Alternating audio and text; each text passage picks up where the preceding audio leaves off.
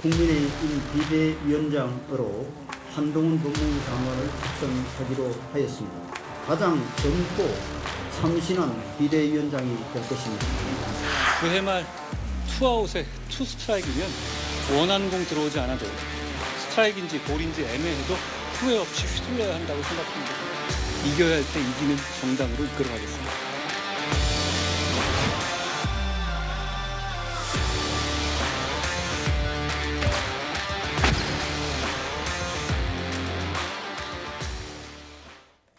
네, 스튜디오에는 이현종 문화일보 논설위원 정혁진 변호사, 조상호 민주당 법률위 부위원장, 박상규 채널A 개건 해설위원 네 분 나오셨습니다. 안녕하십니까? 네, 안녕하세요. 안녕하십니까.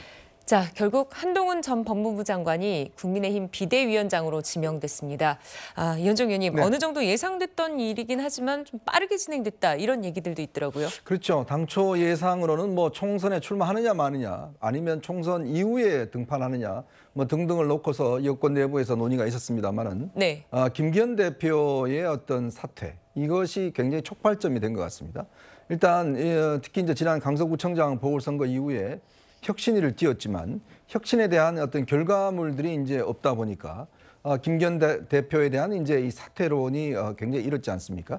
특히 중진들과 친윤들의 어떤 이 이선 후퇴 어, 희생이 요구됐었는데 장재원 의원만 이제 불출마를 하고 김기현 저전 대표 같은 경우는 이제 대표직 사퇴만 하고 불출마는 아직 선언하지 않았습니다. 자 그러다 보니 당이 사실은 혁신이 보다도 어, 그 전보다도 더 어려운 상황으로 지금 갈 수밖에 없는 그런 최악의 상황으로 내몰렸다 이렇게 볼 수 있을 것 같습니다. 네. 아마 그런 상황에서 이제 총선도 4개월밖에 남지 않았고 결국은 이 상황에서는 극약 처방을 할 수밖에 없다.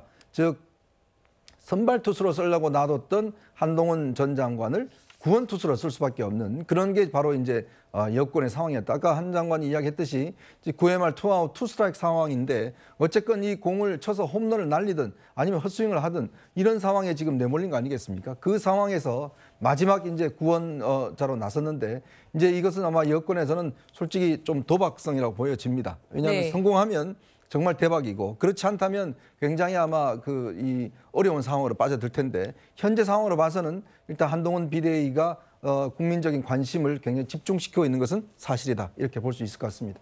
네, 한 전 장관 뜻밖의 빠른 수락이라는 그런 어, 시선도 있고요. 자, 그럼 이제 곧 출범할 한동훈 비대위 한 전 장관이 내세운 핵심 키워드가 있습니다. 바로 실력입니다. 제가 아직 정확하게 비대위원장이 된 것은 아닙니다만 비상대책위원장이잖아요. 굉장히 비상적인 상황이라는 점을 어, 의미하는 것인데요. 국민을 위해서 열정적으로 헌신할 수 있는 실력 있는 분을 어, 모시는 것이 중요하다고 생각합니다.